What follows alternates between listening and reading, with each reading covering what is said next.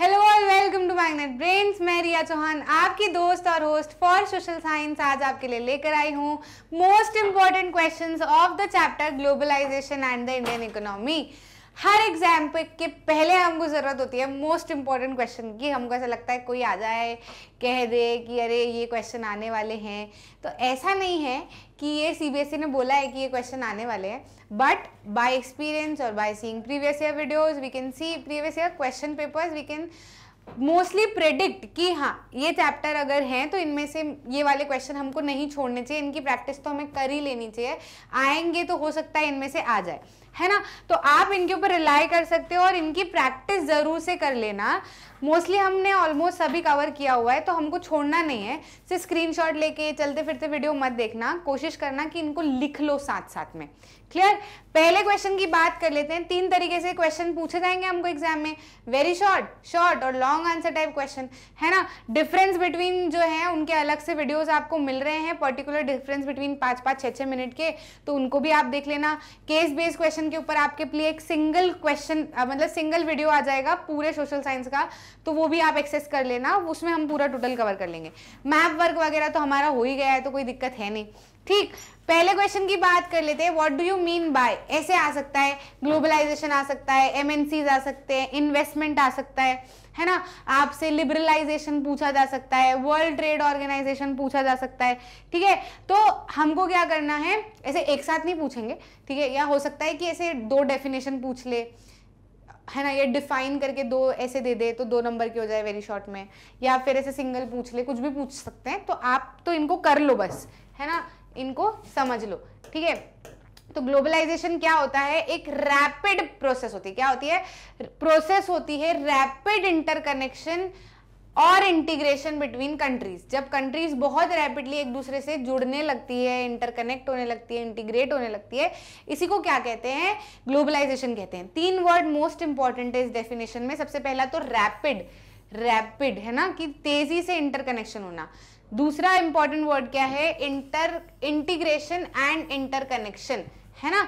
Between countries ठीक है? तो ये क्या है? ग्लोबलाइजेशन एमएनसीज की अगर हम बात करें एमएनसीज क्या होती है? तो एमएनसी एक कंपनी है जो कि कंट्रोल करती है प्रोडक्शन को और प्रोडक्शन को ओन भी करती है in more than one nation एक नेशन से ज़्यादा, है ना? तो यहाँ पर मोस्ट इंपॉर्टेंट वर्ड्स क्या है? एक तो प्रोडक्शन है ना? प्रोडक्शन को ओन और कंट्रोल करना in more than one nation क्या है? मोर देन वन नेशन एक नेशन से ज़्यादा. MNC setup office and factories for production in region where they get cheap labour and other resources है ना? तो कुल मिला के एमएनसी का मतलब क्या होता है? ऐसी कंपनी जो कि प्रोडक्शन को कंट्रोल कर रही है और क्या कर रही है? ओन कर रही है. तो बहुत सारी कंपनीज़ करती है ओन और कंट्रोल एमएनसी में क्या अंतर है फिर? तो ये एक से ज़्यादा नेशन में करती है. मतलब सिर्फ़ एक नेशन में नहीं एक से ज़्यादा नेशन में अलग अलग कंट्रीज़ में प्रोडक्शन को ओन और कंट्रोल करती है। इसी को क्या कहते हैं? एमएनसी कहते हैं। ये वहाँ पे अपने ऑफ़िस और फैक्ट्री सेटअप करती है जहाँ पे उनको आसानी से सस्ता लेबर है ना? आ, सस्ता जो है रॉ मटेरियल और दूसरे रिसोर्सेज मिल जाए ताकि वो ज़्यादा से ज़्यादा प्रॉफिट कमा पाए। क्लियर है। उसके बाद में हम देख लेते हैं इन्वेस्टमेंट क्या होता है। तो मनी जो कि स्पेंड की जाती है असेट्स को बाय करने के लिए, यानी कि ऐसी चीज़ों को बाय करने के लिए जो कि प्रॉफिटेबल हो, जैसे कि लैंड बिल्डिंग मशीन इक्विपमेंट ये सब क्या कहलाता है? इन्वेस्टमेंट कहलाता है। बेसिकली इन्वेस्टमेंट जो होता है, वो आपको आने वाले समय में जो चीज़ें प्रॉफिट अर्न करके दे, वही सामान क्या कहलाता है? इन्वेस्टमेंट कहलाता है। बिल्डिंग है बिल्डिंग को बेचोगे बाद में आने वाले समय में कीमत बढ़ जाएगी, ज़्यादा पैसा मिलेगा। है ना? मशीन खरीदना, अगर आपकी फैक्ट्री है, अगर आप मशीन्स खरीद रहे हो तो आपके लिए इन्वेस्टमेंट है, क्योंकि उससे आपका प्रोडक्शन फास्टर होगा। है ना? तो बहुत सारी चीज़ें ऐसी होती हैं, जो कि आपके काम में मदद करे और आपको ज़्यादा अच्छा प्रोडक्शन करके दे। यही क्या कहलाता है? इन्वेस्टमेंट कहलाता है। आगे बढ़े। आगे देख लेते हैं, और भी छोटी छोटी डेफिनेशन हैं, जैसे कि लिबरलाइजेशन हो गया। तो लिबरलाइजेशन का मतलब क्या होता है? बैरियर्स और रिस्ट्रिक्शंस को रिमूव करना, जो कि गवर्नमेंट ने लगाए हुए हैं। है ना? जो रिस्ट्रिक्शंस और बैरियर्स गवर्नमेंट ने लगाए हुए हैं, उनको रिमूव करने का मतलब क्या होता है? लिबरलाइजेशन होता है। लिबरलाइजेशन जब होने लगता है, यानी कि जब गवर्नमेंट के लगाए हुए रिस्ट्रिक्शंस हट जाते हैं, तब आसानी से बिज़नेस चलने लगते हैं। है ना? आसानी से बिजनेसमैन जो है, वो अपने डिसीज़न ले सकते हैं कि क्या उनको एक्सपोर्ट करना है, क्या इम्पोर्ट करना है। है ना? तो ये पॉइंट आप लिख सकते हो in liberalisation world trade organisation क्या होता है? तो वर्ल्ड ट्रेड ऑर्गेनाइजेशन एक ऐसा ऑर्गेनाइजेशन है जो कि एम करता है, यानी कि जिसका मोटिव होता है कि ज़्यादा से ज़्यादा ट्रेड क्या हो जाए लिबरलाइज हो जाए, यानी कि फ्री हो जाए। लिबरलाइज मतलब फ्री होना, ठीक है? लिबरलाइज हो जाए मतलब फ्री हो जाए। ज़्यादा से ज़्यादा इंटरनेशनल ट्रेड लिबरलाइज हो जाए। Establishes rules regarding international trade and sees that these rules are followed ठीक है? तो वर्ल्ड ट्रेड ऑर्गेनाइजेशन बेसिकली क्या करता है? It is an organisation that tries to liberalise completely liberalise the international trade मतलब country to country जो trade हो रहा है, उसको एकदम फ्री करना, यानी कि कोई टैक्स बैरियर्स ना हो, कोई इम्पोर्ट ड्यूटीज़ ना हो, है ना? ये चाहता है वर्ल्ड ट्रेड ऑर्गेनाइजेशन ताकि सारी सारी कंट्री क्या हो प्रॉस्पेर हो और एक दूसरे का मार्केट शेयर कर सके। ठीक है? ये रूल्स बनाता है और ये भी देखता है कि दूसरी कंट्रीज़ इन रूल्स को फॉलो कर रही है कि नहीं कर रही है। क्लियर समझ में आया कि नहीं तो ये हमारी छोटी छोटी डेफिनेशन हो गई। फिर अगर पूछ लिया जाए कि कौन से साल में गवर्नमेंट ने इंडिया में इंटरनेशनल ट्रेड पे और इन्वेस्टमेंट पे फॉरेन ट्रेड पे और इन्वेस्टमेंट पे बैरियर हटाया था तो दैट इज़ द ईयर 1991 है ना?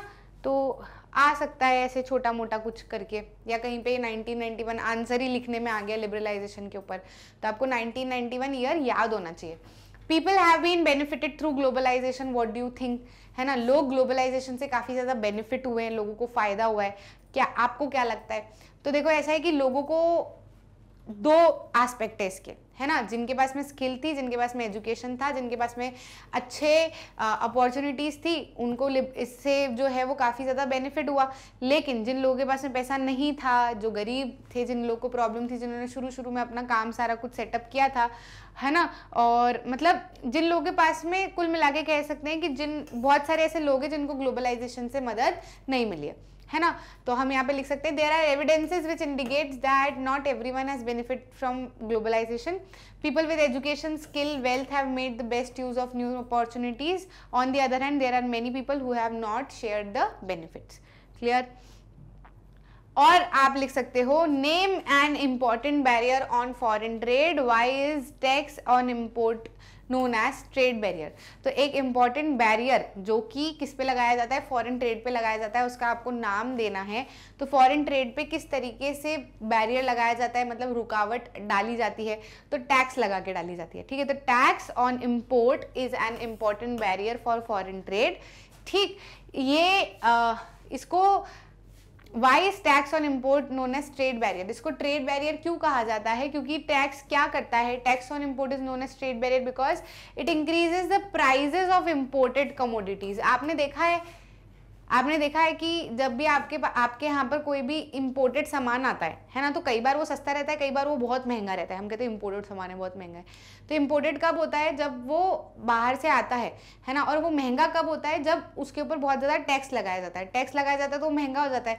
अब लोग फिर उसको कम ही लोग होते हैं जो उसको खरीदते हैं, ठीक है? तो इसलिए इसको क्या कहा जाता है? बैरियर कहा जाता है। ये एक रुकावट है है ना? क्योंकि महँगा हो जाएगा तो लोग कम खरीदेंगे तो रुकावट आएगी उसको बेचने में।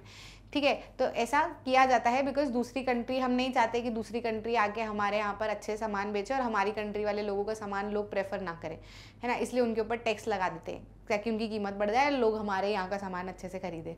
समझ में आया कि नहीं? ठीक है? इसलिए इसको बैरियर भी कहा जाता है। What do you understand by term foreign direct investment foreign direct investment से आप क्या समझते हो? तो इन्वेस्टमेंट जो कि एमएनसी के द्वारा किया जाता है that is foreign investment and कोई भी इन्वेस्टमेंट जो कि ये ये वो इन्वेस्टमेंट होता है जो कि प्रॉफिट अर्न करने के लिए किया जाता है। ज़्यादा से ज़्यादा प्रॉफिट अर्न करने के लिए किया जाता है। बस इसी को क्या कहते हैं? फॉरेन डायरेक्ट इन्वेस्टमेंट या फॉरेन इन्वेस्टमेंट क्लियर ठीक है? तो बहुत ही सिंपल सिंपल से है very short answer type question तो। What why do MNC setup offices and factories in those region where they get cheap labour and other resources जो एम होती है, वो ऐसी जगह पर ही क्यों अपने ऑफ़िस सेटअप करती है जहाँ पर उनको सस्ता लेबर है ना? और दूसरे रिसोर्सेज सस्ते में मिल जाते हैं। तो ऐसा क्यों करती है वो? तो ऐसा इसलिए करती है ताकि वो क्या कर सके, ज़्यादा से ज़्यादा प्रॉफिट कमा सके और कॉस्ट ऑफ़ प्रोडक्शन भी लो रहे। ठीक है? जैसे एम एन सीज़ है एम एन सीज़ को क्या करना होता है? उनको प्रोडक्शन बनाना होता है, ठीक है? अब प्रोडक्शन जब बनेगा, बिकेगा, सब कुछ है तो एम एन सीज़ के पास में पैसा पर्सनल पैसा कब बनेगा? कि लेबर को दे दिया प्रोडक्शन का कॉस्ट निकल गया रॉ मटेरियल का कॉस्ट निकल गया, अब इन टोटल जो बच रहा है, वो एम एन सी का प्रॉफिट है। है ना? तो अगर सस्ते में लेबर मिल गया तो यहाँ से पैसा बच जाएगा। सस्ते में रॉ मटेरियल मिल गया तो यहाँ से पैसा बच जाएगा। सस्ते में ट्रांसपोर्टेशन हो गया तो यहाँ से पैसा बच जाएगा। जब पैसा बचेगा तो ज़्यादा पैसा बचेगा कुल मिला के, है ना? तो ज़्यादा प्रॉफिट होगा। इसलिए एम क्या करती है? ऐसी जगह पर अपना ऑफ़िस सेटअप करती है, जहाँ पे उनको चीप लेबर और दूसरे रिसोर्सेज सस्ते में मिल जाए, ताकि वो उनका प्रोडक्शन कॉस्ट भी कम हो, सस्ते में सामान बन जाए और साथ ही साथ में प्रॉफिट भी ज़्यादा बने। क्लियर तो ये दो पॉइंट आप इसके अंदर ले सकते हो। शॉर्ट आंसर की हम बात कर लेते हैं। तीन एडवांटेजेस हमको बताने हैं ग्लोबलाइजेशन के। Explain any three advantages of globalisation globalisation के क्या तीन एडवांटेजेस हैं? सबसे पहला तो ग्लोबलाइजेशन की मदद से क्वालिटी इंप्रूव हुई है of product improved quality product ठीक है? पहले क्या होता था जब ग्लोबलाइजेशन नहीं था? एक ही कंट्री में सामान बनता था और एक ही कंट्री में बिकता था तो लोगों का कोई कंपटीशन नहीं था। बना रहे थे, बेच रहे थे, उनको था कि लोग क्या खरीदना तो यही पड़ेगा। तो वो अपने हिसाब से ख़राब क्वालिटी का सामान भी बना बना के बेचा करते थे। लेकिन अब ग्लोबलाइजेशन की मदद से क्या हुआ है, दूसरी कंट्री के सामान भी अपने आप पे आते हैं। तो अपनी कंट्री वाले देखते हैं कि अच्छा ये ऐसे भी बनाया जा सकता है अच्छा इसकी क्वालिटी तो और अच्छी है अच्छा इतनी अच्छी क्वालिटी कम कीमत में भी बिक रही है। तो फिर कंपटीशन के कारण वो क्या करते हैं, अपनी क्वालिटी बढ़ाते हैं, क्योंकि मार्केट में तो फिर दोनों प्रोडक्ट है। सामने वाला बंदा जो खरीदने वाला है, वो ये थोड़ी देखेगा कि कौन सी कंट्री का क्या सामान है। वो तो ये देखेगा कम कीमत में कहाँ पे अच्छी क्वालिटी का सामान मिल रहा है। तो वो ले लेगा। अब अगर आपका सामान कम कीमत में अच्छी क्वालिटी का मिल रहा है तो आपका लेगा, नहीं तो दूसरी कंट्री का लेगा। अब वो दूसरी कंट्री का लेगा तो दूसरी कंट्री वाले को फ़ायदा होगा। यहाँ पे फ़ायदा नहीं होगा। समझ में आई ना बात? तो improve quality product why globalisation has resulted in greater competition among producers and has been of advantage to consumers particularly the well off section well off section को काफ़ी इससे फ़ायदा हुआ है।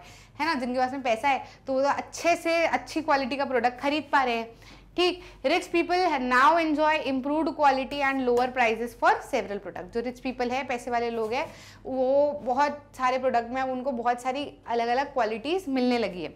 Collaboration with local companies local companies के साथ में हाथ मिला पाते हैं, है ना? उनके साथ में कोलैबोरेट कर पाते हैं। ठीक है local companies get money for additional investment like buying new machines for fast production जो एम आई ग्लोबलाइजेशन हुआ, दूसरी कंपनीज़ यहाँ आई तो यहाँ की लोकल कंपनीज़ से क्या करेगी? वो कोलैबोरेट करेगी, हाथ मिलाएगी।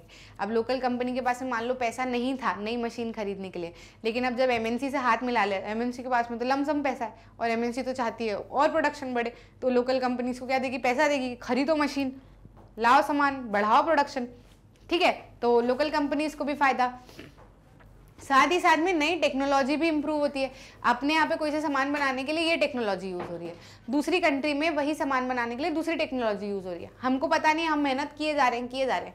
अब जो दूसरी कंट्री से कंपनी आई तो वो क्या करेगी? अपने साथ में अपनी टेक्नोलॉजी भी लेके आएगी।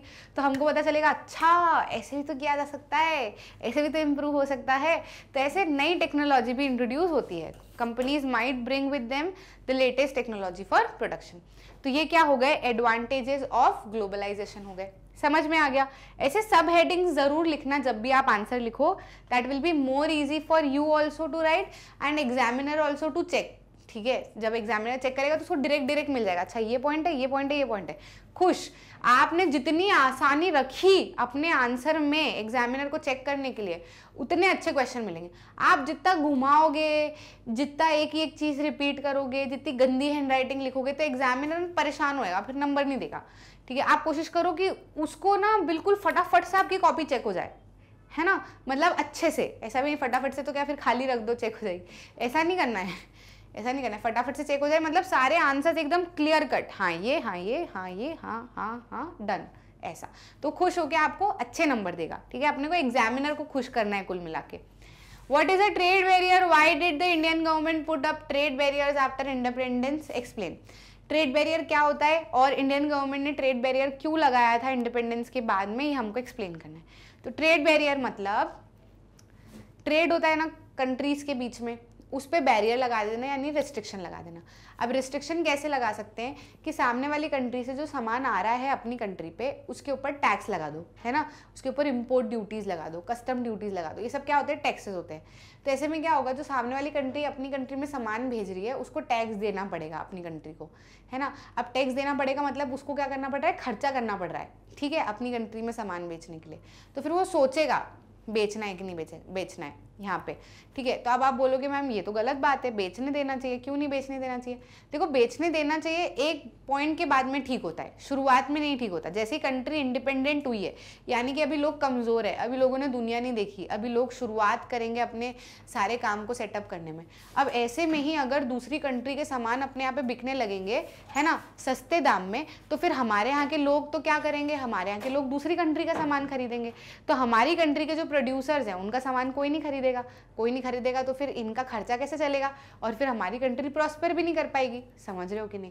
तो ऐसे में क्या करते हैं कि बाहर वाले से जो सामान आ रहा है इंडिपेंडेंस के बाद में, बाहर वाले से जो सामान आ रहा है, उसके ऊपर क्या कर देते हैं? टैक्स लगा देते हैं इम्पोर्ट ड्यूटीज़ लगा देते ताकि वो महँगे में आए कंट्री में। अब जब कंट्री में वही सामान महँगे में आएगा तो लोग हमारे यहाँ का सामान खरीदेंगे रेदर देन खरीदने ऑफ़ द दूसरी कंट्री है? लोगों को नहीं समझ होती कौन सा किस कंट्री का सामान है। इंडिपेंडेंस के बाद में हमें क्या समझ थी? हमको तो ये था कि सस्ते में कौन सा सामान मिल रहा है। ठीक है तो सस्ते में हमारे यहाँ का मिलेगा तो हमारे यहाँ खरीदेंगे, सस्ते में उनका मिलेगा तो उनका खरीदेंगे। अब अगर बिना ट्रेड बैरियर लगाए उनको अंदर आने देंगे तो वो सस्ते में ही आएगा ना? और हमारी कंट्री से उनकी क्वालिटी भी अच्छी होगी। तो लोग उनका खरीद ले जाएँगे। उससे उनको फ़ायदा होगा, उससे हमको कोई फ़ायदा नहीं होगा। इसलिए हम क्या करते हैं ट्रेड बैरियर लगा देते हैं, यानी कि टैक्स लगा देते हैं उनके सामानों के ऊपर ताकि वो महँगे में कंट्री में बिके, है ना? तो हमारे कंट्री के लोग हमारे ही यहाँ का सामान खरीदे और फिर हमारे जो प्रोड्यूसर्स है वो प्रोस्पेर हो जाए। ठीक है? अब ये शुरुआती दौर में किया जाता है। ठीक है, शुरुआती दौर में किया जाता है। एक टाइम के बाद में अगर प्रोड्यूसर्स अच्छे हो गए अपने आके और अच्छा कमाने लगे तो फिर ये ट्रेड बैरियर हटा देना चाहिए। ठीक है, ये अब क्यों हटा देना चाहिए? अब इसलिए हटा देना चाहिए क्योंकि इससे उनको पता चलेगा कि बाहर की कंट्री के सामानों की क्वालिटी कैसी है। है ना? कंपटीशन जब होगा दोनों के बीच में तो फिर वो और अच्छी क्वालिटी का सामान बना पाएँगे अब। समझ में आई बात। तो हमको यहाँ पे क्या बताना है? हमको तो इतना एक्सप्लेन करना है कि ट्रेड बैरियर क्या होता है और इंडिपेंडेंस के बाद में हमने ट्रेड बैरियर क्यों लगाया था। तो बेसिकली जो गवर्नमेंट फॉरेन ट्रेड को रेगुलेट करने के लिए रेस्ट्रिक्शन लगाती है उसी को टैक्स उसी को ट्रेड बैरियर कहते हैं। इम्पोर्ट पे जो टैक्स होता है वो ट्रेड बैरियर का एक एग्ज़ाम्पल है। ठीक है? अब इंडियन गवर्नमेंट ने फॉरेन ट्रेड पे बैरियर इसलिए लगाया था बिकॉज़ uh, है ना? बिकॉज़ दो पॉइंट लिख दो, ताकि डोमेस्टिक प्रोड्यूसर्स को फॉरेन कंपटीशन से प्रोटेक्ट कर सके। डोमेस्टिक मतलब हमारे यहाँ के प्रोड्यूसर्स को फॉरेन कंपटीशन से प्रोटेक्ट कर सके, बचा के रखे। ऑल्सो इस समय पे जो इम्पोर्ट होता है वो लोकल कंपनीज़ को आगे बढ़ने में अलाउ नहीं करने देता। अगर इंपोर्ट आता तो फिर वो लोकल कंपनीज़ आगे नहीं बढ़ पाती। लोकल कंपनीज़ मतलब हमारे यहाँ की कंपनीज़ आगे नहीं बढ़ पाती। India allowed imports of only essential item such as machinery fertiliser petroleum हमने सिर्फ़ मशीनरी फर्टिलाइज़र और पेट्रोलियम को अलाउ किया था हमारी कंट्री में आने देने के लिए विदाउट ट्रेड बैरियर बाकी सबके ऊपर ट्रेड बैरियर लगा दिया था ताकि हमारी कंट्री के प्रोड्यूसर्स प्रोस्पेर हो। अच्छा लोकल कंपनीज़ मतलब लोकल कंपनीज़ नहीं होता है। लोकल कंपनीज़ मतलब हमारे लोकेलिटी की कंपनी तो हमारी लोकेलिटी क्या है? इंडिया यानी कि इंडिया की कंपनी समझ में आया? कहीं पे लोकल लिखा रहा तो ऐसे लोकल लोकल मत करना, ये लोकल है। लोकल नहीं होता। लोकल मतलब लोकेलिटी का, हमारे एरिया का सामान। What would happen if government of India puts heavy tax on import of Chinese toys? Explain three points. अगर चाइनीज़ ऐसी अक्कल हमको ना चाइनीज़ टॉयज पे नहीं आई। हमने इंडिपेंडेंस के बाद में तो सामान पे सब टैक्स वैक्स लगा दिए, लेकिन चाइनीज़ टॉयज पे हमने टैक्स नहीं लगाया, है ना? अब जब चाइनीज़ टॉयज पे टैक्स नहीं लगाया तो खूब सारे चाइनीज़ टॉयज हमारे यहाँ पे आने लगे, सस्ते दाम में बिकने लगे तो फिर हमारे यहाँ के जो लोग थे वो सस्ता सामान खरीदने लगे, और हमारे यहाँ के प्रोड्यूसर्स उस सेक्टर में ग्रो नहीं कर पाए, ठीक है? लेकिन अगर ऐसे केस में चाइनीज़ टॉयज के ऊपर इंडियन गवर्नमेंट टैक्स लगा देती तो क्या होता? ये तीन पॉइंट हमको एक्सप्लेन करने है ना? तो if government of India puts heavy tax on import of Chinese toys then सबसे पहला, कम चाइनीज़ टॉयज इंडियन मार्केट में आते, क्योंकि उनको टैक्स देना पड़ता तो ज़ाहिर सी बात है गिनती कम हो जाती। दूसरा, अगर आते भी तो उनकी, उनके ऊपर टैक्स लग के आता तो वो महँगे हो जाते, ठीक है? तीसरा इंडियन टॉय मेकर्स के लिए काफ़ी अच्छा हो जाता है उनके पास में एक अपॉर्चुनिटी मिल जाती है उनको बिज़नेस एक्सपैंड करने की क्योंकि कम कंपटीशन उनको मिलता। साथ ही साथ में इंडियन बायर्स के पास में भी आ, कम चॉइस होती मार्केट में तो फिर वो जो है मार्केट में and toys will become more expensive Indian buyers would have lesser choice in the market and toys will become more expensive ये कंज्यूमर्स के लिए थोड़ी सी दिक्कत होती है लेकिन प्रोड्यूसर्स प्रॉस्पर कर जाते तो आप ये तीन पॉइंट चार पॉइंट मैंने इसलिए लिख दिए क्योंकि चार में से कुछ एक आध भूले भी तो तीन बन जाए आपके, है ना? शॉर्ट आंसर तो हो ही जाए। तो इसलिए थोड़ा सा एक आध एक्स्ट्रा भी दिमाग में रख लोगे तो कोई प्रॉब्लम नहीं होगी। ठीक है? Explain the condition that determines MNC setting up production in other countries ऐसी ऐसी कंडीशंस बताइए जिसके जिसके बेसिस पे या फिर जिसके हाँ जिसके बेसिस पे एमएनसी क्या करती है? अपना ऑफ़िस या फिर अपना प्रोडक्शन दूसरी कंट्री में सेटअप करती है। तो बहुत सारी कंट्रीज़ होती हैं, पर वो कहाँ पे अपना प्रोडक्शन सेटअप करती है? क्या सोच के सेटअप करती है? ये कंडीशन हमको बतानी है। है ना? तो सबसे पहला तो चीप लेबर है। ठीक है, क्या है? चीप लेबर है। MNC set up office in factories for production in region where they get cheap labour and other resources example countries like China Bangladesh and India they also provide advantage for cheap manufacturing location ठीक? दूसरा close by market ठीक है close by market क्यों? क्योंकि transportation cost कम लगता है। अगर market से काफ़ी दूरी है तो फिर आपको सामान पहुँचाने में बहुत पैसा लगाना पड़ेगा। लेकिन अगर मार्केट से पास में है तो फिर कम पैसा लगेगा प्रॉफिट बच जाएगा। M N Cs also need close by market for their manufacturing goods जैसे कि मैक्सिको ईस्टर्न यूरोप ये काफ़ी ज़्यादा यूजफुल है for their closeness to market ठीक है? इसके अलावा एम को स्किल और स्किल्ड इंजीनियर्स की भी ज़रूरत पड़ती है। ठीक है? आईटी पर्सनल्स की भी ज़रूरत पड़ती है इंग्लिश स्पीकिंग यूथ की भी ज़रूरत पड़ती है, जो कि उनको अच्छी कस्टमर केयर सर्विसेज़ प्रोवाइड कर सके। इंडिया इसमें टॉप चॉइसेस रहती है। है ना? जैसे आपने प्रोडक्शन यूनिट सेटअप करी है, सब कुछ करा है, अब लोगों ने सामान खरीदा, उनको दिक्कत आ रही है तो कॉल करने के लिए उनको ऐसे लोग चाहिए जो कि अच्छी इंग्लिश बोलते हैं। इंग्लिश क्यों बोलते हैं? क्योंकि इंग्लिश ऐसी लैंग्वेज है जो कि सभी हर कंट्री में बोली जाती है। है ना? तो आप ज़्यादा लोगों से कम्युनिकेट कर पाते हो। साथ ही साथ में अच्छे इंजीनियर्स स्किल इंजीनियर्स और आईटी पर्सनल्स की भी ज़रूरत होती है। तो ऐसी जगह पे क्या करती हैं? एम अपना प्रोडक्शन यूनिट जो है वो सेटअप करती हैं। आपको ये पॉइंट देखने में बड़े लग रहे होंगे, लेकिन है नहीं। सिर्फ़ एक एक लाइन में एक्सप्लेन किया और एग्ज़ाम्पल दिया हो। कॉपी में लिखोगे तो बहुत छोटा बनेगा। How are local companies benefited by collaborating with multinational companies explain with example जब मल्टीनेशनल कंपनीज़ हमारे यहाँ की लोकल कंपनीज़ यानी कि जो इंडिया की या जिस भी जगह पे आप रह रहे हो, वहाँ की कंपनीज़ से कोलैबोरेट करती है, यानी कि हाथ मिलाती है। तो उससे लोकल कंपनीज़ को क्या फ़ायदा होता है? तो बेसिकली ये जो फ़ायदा होता है टू फोल्ड होता है। नंबर वन जो एम होती है, वो एडिशनल इन्वेस्टमेंट के लिए पैसा देती है। है ना? तो प्रोडक्शन यूनिट अच्छी बन जाती है। साथ ही साथ में एमएनसी अपने साथ में लेटेस्ट टेक्नोलॉजी लेके आती है, ताकि वो प्रोडक्शन को एनहांस कर सके। है ना? टू फोल्ड एक तो इन्वेस्टमेंट के लिए पैसा मिलता है, दूसरा एमएनसी अपने साथ में नई टेक्नोलॉजी लेके जाती है। जैसे कि पैराक फ़ूड का आप एग्ज़ाम्पल दे सकते हो, हमने पढ़ा है। है ना? एक्सप्लेन विथ एग्ज़ाम्पल का यहाँ पे बोला है। Clear how production in widely disperse location is getting interlinked बहुत दूर दूर पे जो प्रोडक्शन होता है अलग अलग कंट्रीज़ में होता है। तो वो कैसे एक दूसरे से इंटरलिंक हो रहा है, ये हमको बताना है। तो there are variety of ways in which M N Cs are spreading their production and interacting with local producers in various ways across countries of the globe number one वो क्या करती है? लोकल कंपनीज़ से partnership बनाती है।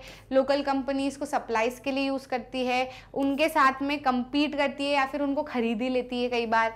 और साथ ही साथ में एम जो है, वो काफ़ी ज़्यादा डिस्टेंट लोकेशन की प्रोडक्शन यूनिट पे अपना इन्फ्लुएंस जमा के रखती है। तो जब इतना सारा कुछ अलग अलग कंट्रीज़ की कंपनीज़ के बीच में होते रहता है तो फिर ज़ाहिर सी बात है कि बहुत दूर दूर की डिस्टेंट लोकेशन पे जो प्रोडक्शन हो रहा है, वो एक दूसरे से क्या हो रहा है? इंटरलिंक हो रहा है।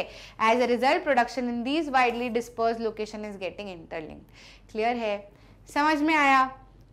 नेक्स्ट क्वेश्चन की बात कर लेते हैं. In a matter of years our market have been transform do you think so if yes then explain why कुछ सालों में ही हमने देखा है कि हमारा मार्केट पूरी तरीके से बदल चुका है. क्या आपको भी ऐसा लगता है?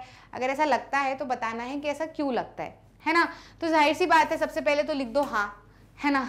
बिल्कुल सही है। हमारा मार्केट जो है वो कुछ ही सालों में काफ़ी हद तक बदल गया है। Yes our markets have definitely transformed in the matter of years we can say this because of the following reason है ना? इन रीजन्स के कारण ऐसा कहा जाता है। हर सीज़न हर सीज़न हर सीज़न हमारे यहाँ पर नए मॉडल्स ऑफ़ ऑटोमोबाइल्स देखने को मिलते हैं। वो ज़माना गया जब हमारी सड़कों पर एम्बेसडर ऑफ़ फियाट जैसी एक आधी गाड़ियाँ घूमा करती थी। है ना? Gone are the days when Ambassador and Fiat were the only cars on Indian roads ठीक है? साथ ही साथ में Indian are buying products Indians are buying products produced by nearly all top companies in the world from shirt to television to uh, processed fruit juices etc. ठीक है? तो मतलब हम क्या कर रहे हैं? हमारा मार्केट बहुत चेंज हो गया है। अब हमारे पास में वेराइटी ऑफ़ थिंग्स अवेलेबल है जो कि ऑल ओवर द वर्ल्ड बनती है। पहले नहीं थी। पहले यहीं का सामान पहनते थे एक आध जो कुछ कंट्रीज़ से आ जाता था वही आता था वो भी महँगा मिलता था।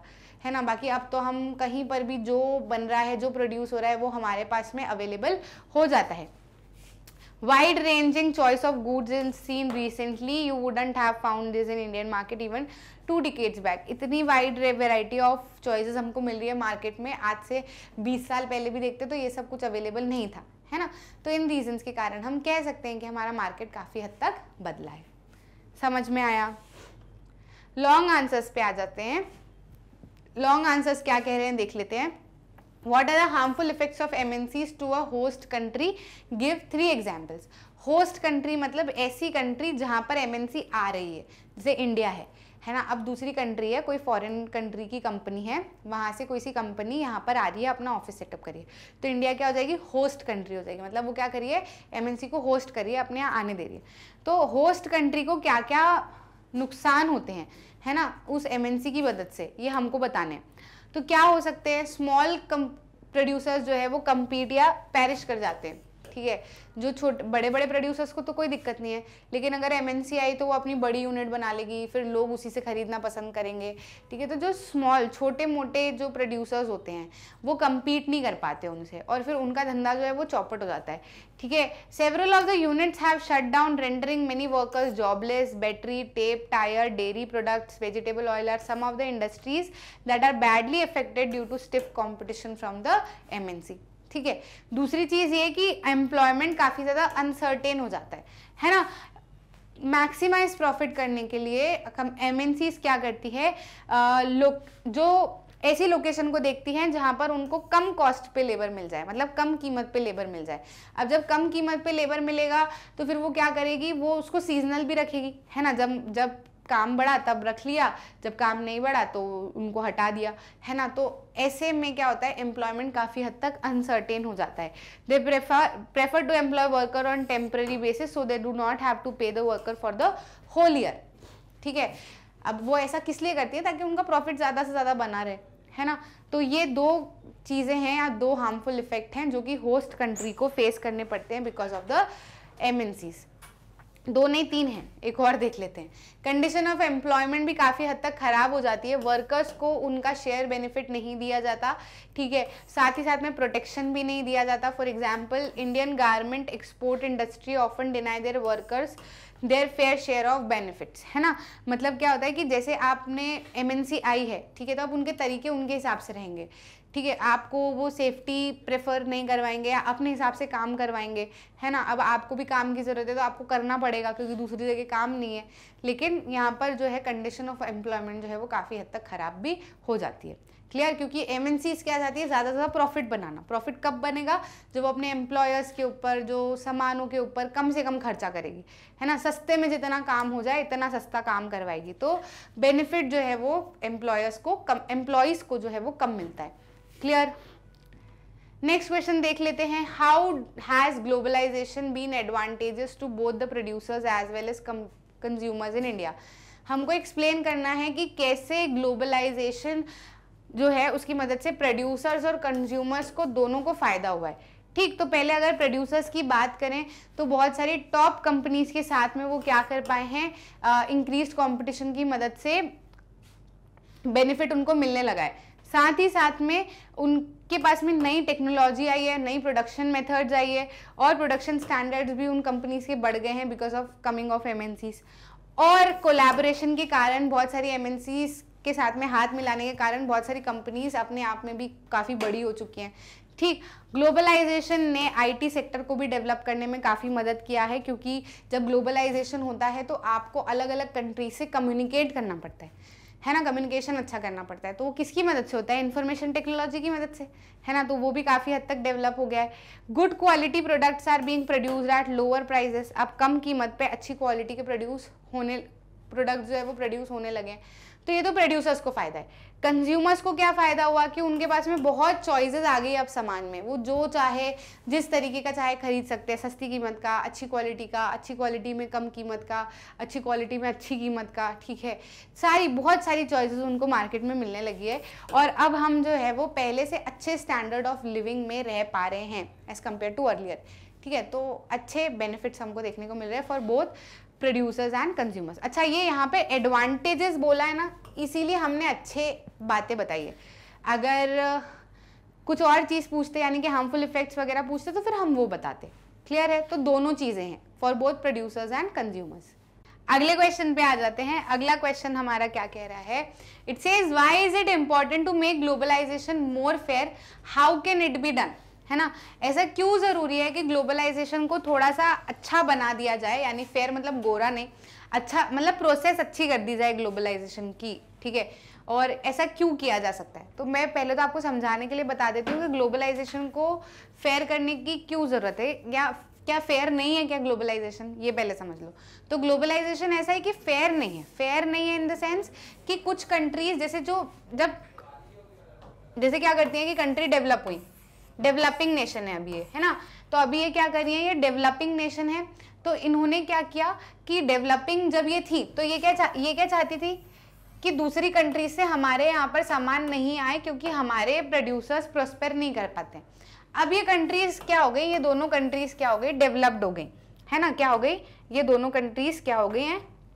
डेवलप्ड हो गई हैं। ठीक है? पहले नहीं थी। अब क्या हो गई? डेवलप्ड हो गई ये दो तो डेवलप हो गई हैं, लेकिन ये दो डेवलपिंग है। है ना? अब इस बीच में क्या हुआ? वर्ल्ड ट्रेड ऑर्गेनाइजेशन बना। है ना?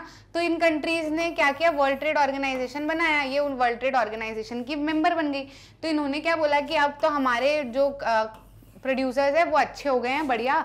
और अब ये भी क्या चाहते हैं कि अपना सामान दूसरी कंट्री में बेचे तो ज़्यादा प्रॉफिट मिलेगा। तब दूसरी कंट्री में कब अच्छे से बेच सकते हैं? जब उन कंट्रीज़ पे इम्पोर्ट ड्यूटीज़ ना हो टैक्स ना हो, है ना? तो सामान बेच पाएँगे, नहीं तो इनको टैक्स पे करना पड़ेगा।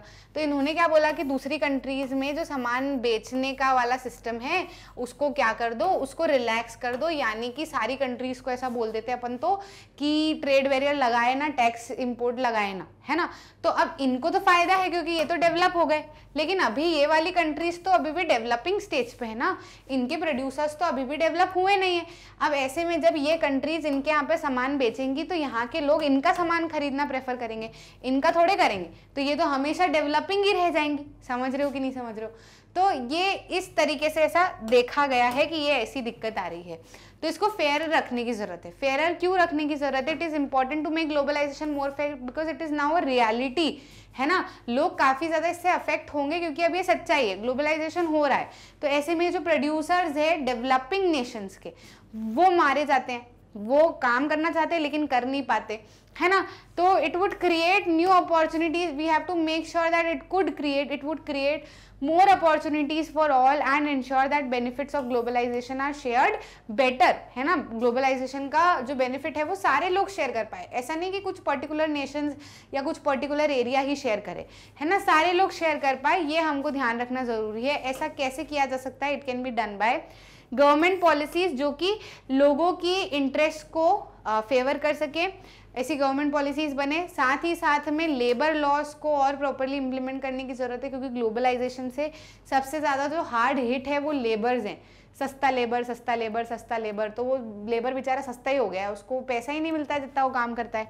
तो इस पर ध्यान रखने की ज़रूरत है स्मॉल प्रोड्यूसर्स को भी प्रोटेक्ट करने की ज़रूरत है, क्योंकि बड़ी बड़ी कंपनीज़ अपने हिसाब से काम कर लेती हैं स्मॉल प्रोड्यूसर्स बेचारे फंस जाते हैं।